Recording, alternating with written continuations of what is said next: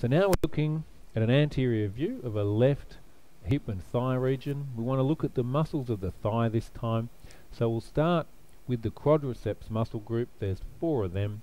So we've got first, front and center, rectus femoris. Now the rectus femoris uh, has its proximal attachment at the anterior inferior iliac spine. So we can see here the anterior superior iliac spine quite clearly.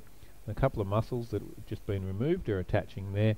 Once they're out of the way, we can see the rectus femoris here attaching into the AIIS. We can see that it has that bipennate shape with muscle fibers running in two different directions there. Now its distal attachment is into the base of the patella and then from there via the patellar ligament down to the tibial tuberosity. And it shares that distal attachment uh, with all of the other quadricep muscles. They all attach distally there. But the other three attach proximally to the femur, not to the hip at the AIIS. So if we um, we'll remove rectus femoris, we can have a look. The other three, the other three muscles of the quadriceps group are all called vastus, just meaning that they're big, vast as in big.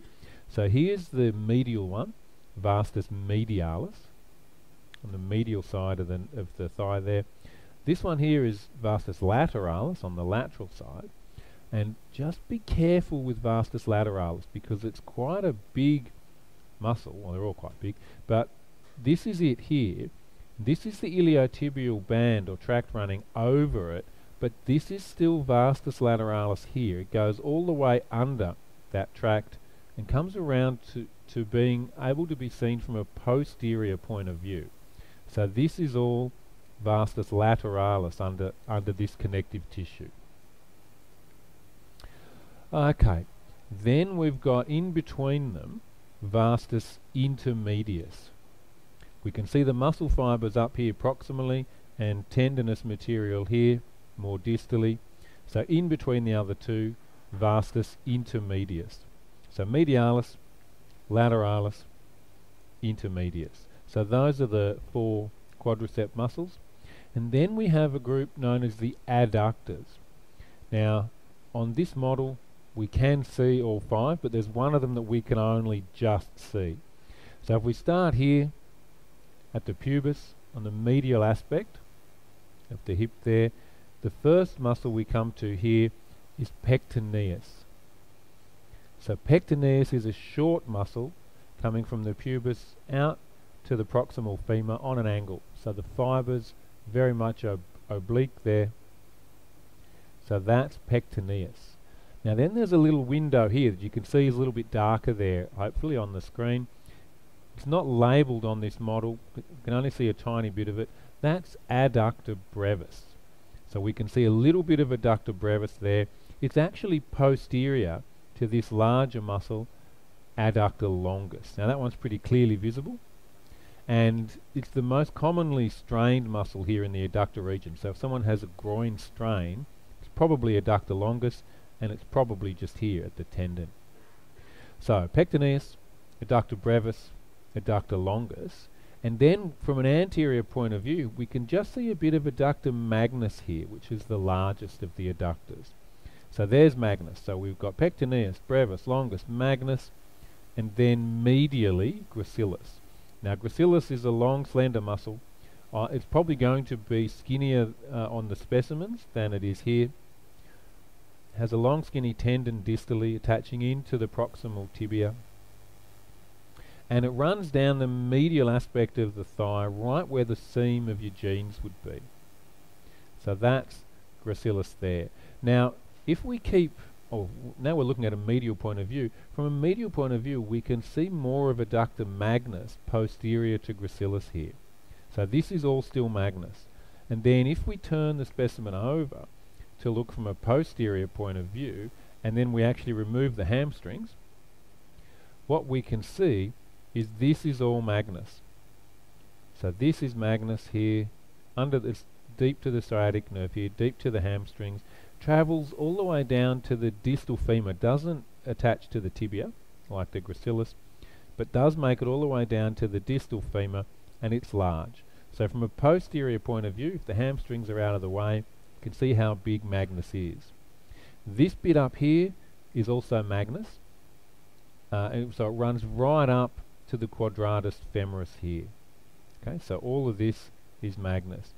Then this muscle that we're looking at here is vastus lateralis, so it's come all the way around to kind of join up to attach very close to where Magnus attaches to on the prox on the posterior aspect of the femur. So that's what we've got there with the adductors. So five muscles. We can't see too much of adductor brevis on this model in between the pectineus and longus but on the specimens what you will be able to do is move longus anteriorly a little bit and find brevis deep behind longus there. It's only fairly thin but I think on all the specimens that we have you can actually manage to do that. You can actually find it. Now then that means we've come all the way around to the posterior aspect and so we're ready to have a look at the hamstrings just as soon as I can put them back on. So what we've got are three muscles in the posterior aspect of the thigh. There are two that are medial and one that is lateral. So the two that are medial are semitendinosus and semimembranosus and you can see them both here. They're put together as one piece on the model. Just come a little bit closer so hopefully we can see where they are, uh, where they can be seen to be different. So remember tendinosus is the more superficial one. If you're looking at from a posterior point of view, that's the one you're going to see more easily. membranosus is deep to it. Now especially distally here in the thigh, membranosus is much, much broader than tendinosus which is quite narrow. So we can see semimembranosus either side of tendinosus, which is here centrally. Now, there's a dividing line there that's separating the two muscles. So membranosus, tendinosus. Now tendinosus on a lot of the specimens by this point will just be a long skinny tendon already, not quite as broad as it is on the model here on the specimens. But we can see membranosus here medially and laterally. Now proximally semimembranosus will have a broad, flat membranous tendon, but you need to lift semitendinosus out of the way to be able to find that. On the model we can't do that, but on the specimens that should be fairly easy. So that's the two medial hamstrings. The lateral one is biceps femoris. Now all three of them attach proximally to the ischial tuberosity, but the biceps femoris has two heads. Now you don't need to be able to identify them separately. You don't need to write down which head is which, but you do need to know that they're both part of biceps femoris. So here's the long head, and it's by far the longer head. It's much, much longer than the short head, which is this smaller part here.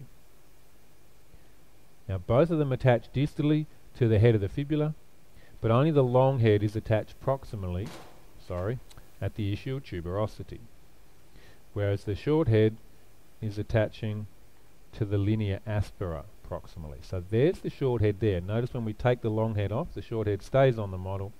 So here we've got adductor magnus, short head of biceps femoris, and then vastus lateralis here. And then we can replace the long head biceps femoris there.